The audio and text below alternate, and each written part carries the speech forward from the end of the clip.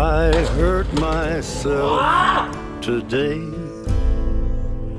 to see if I still feel. I focus on the pain, the only thing that's real. Beneath the stains of time, disappear.